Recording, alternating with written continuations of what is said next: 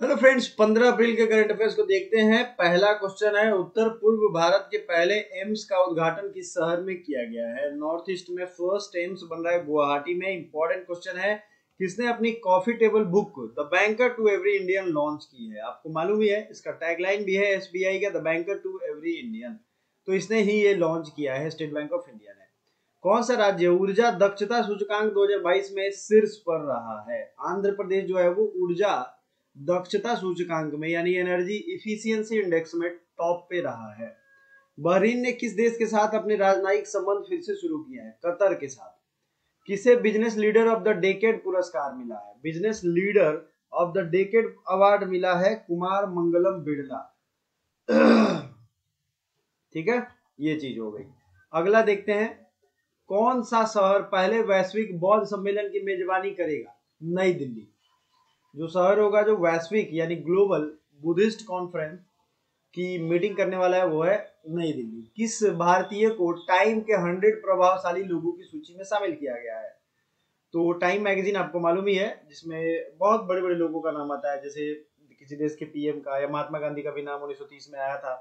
तो ये जो है शाहरुख खान को इस बार स्थान दिया गया है। बच्चों के लिए ऑक्सफोर्ड मलेरिया वैक्सीन को मंजूरी देने वाला पहला देश बच्चों के लिए ऑक्सफोर्ड की जो मलेरिया वैक्सीन है, वो घाना ने अप्रूव कर दिया है। ठीक है? अमन सहरावत ने एशियाई कुश्ती चैंपियनशिप में कौन सा पदक जीता है? स्वर्ण पदक जीता है।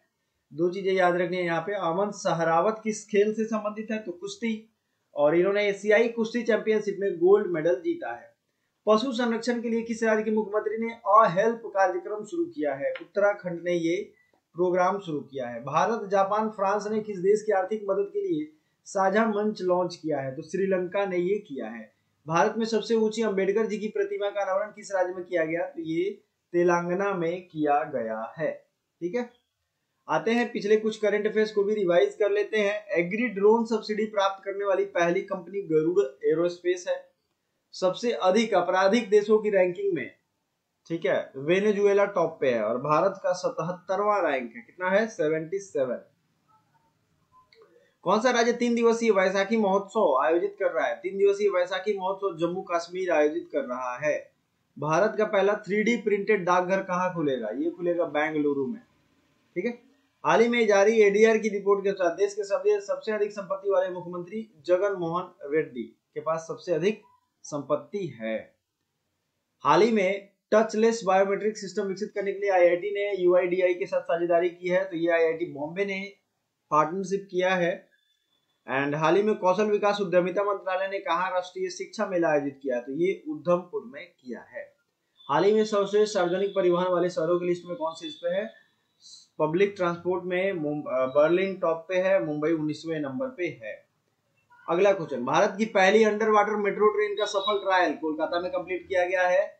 किस देश ने एच थ्री एन एट यानी बर्ड फ्लू का होता है, दुनिया की पहली मौत दर्ज की है, वो है चीन। चीन की राजधानी है बीजिंग, करेंसी है युवान और वहाँ जो है दो इंपॉर्टेंट बैंकों का हेड क्वार्टर है उसके सांघाई शहर में। एक तो है एशिया इंफ्रास्ट्रक्चर इन्वेस्टमेंट बैंक और दूसरा है न्यू डेवलपमेंट बैंक ठीक है? संघाई कोऑपरेशन बैंक ऑर्गेनाइजेशन का जो बैंक है उसका। तो ये दो चीज़ों का आपको याद रखना है। दुनिया का दूसरा सबसे मज़बूत टायर ब्रांड कौन सा बना है? एम आर एफ़ किस राज्य में सुहेलवा अभ्यारण में बाघों का पहला फोटोग्राफ प्रमाण दर्ज किया गया? उत्तर प्रदेश में। किस कंपनी को मिनी रत्न वन का दर्जा दिया गया? Solar energy corporation of India limited. ठीक है, आइए कुछ और क्वेश्चन रिवाइज करते हैं। मैंने कहा था कि एटलीस्ट एक सप्ताह के क्वेश्चन हम लोग रिवाइज करते चलेंगे। और उसी फॉर्मेट पे हम लोग आगे बढ़ रहे हैं। जल्दी हम आपको नवंबर का करंट अफेयर्स भी लेकर के आने वाले हैं और आपको रिवाइज करवाएँगे।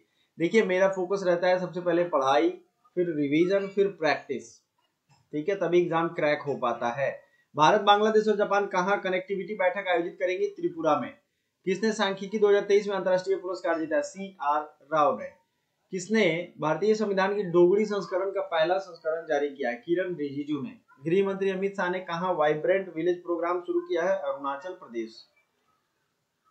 हाल ही में किसे एलआईसी का चीफ इन्वेस्टमेंट ऑफिसर नियुक्त किया गया? Ratnakar Patnaik. Least free country in freedom house index, ये तिब्बत में किया गया है। हाल ही में किस राज्य सरकार ने डेयरी किसानों का समर्थन करने के लिए संजीवनी परियोजना शुरू किया हिमाचल प्रदेश। हाल ही में उत्तर प्रदेश में कहा, दो दिवसीय राष्ट्रीय जलवायु सम्मेलन 2023 का उद्घाटन हुआ है लखनऊ। विदेश मंत्री एस जयशंकर ने कहा, तुलसी घाट, बहाली परियोजना शुरू किया। तो ये पता ही है, तुलसी घाट है बनारस में और ये बहाली परियोजना शुरू किया युगांडा में। ठीक है? भारत की पहली semi high speed regional rail service का नाम क्या रखा गया? रैपिडेक्स किस देश ने क्रिप्टो फर्मो का लाइसेंस देने का पहल शुरू किया है? El Salvador. कौन सा राज्य सावरकर के जन्मदिन को स्वतंत्र वीर गौरव दिवस मनाएगा? महाराष्ट्र। किस राज्य के राज्यपाल ने ऑनलाइन जुए पर प्रतिबंध लगाने वाले विधेयक को मंजूरी दे दी है। ये तमिलनाडु ने ऐसा किया है। ठीक है? तो चलिए बाकी हम लोग रिवीजन करते रहेंगे। Thank you so much bye for now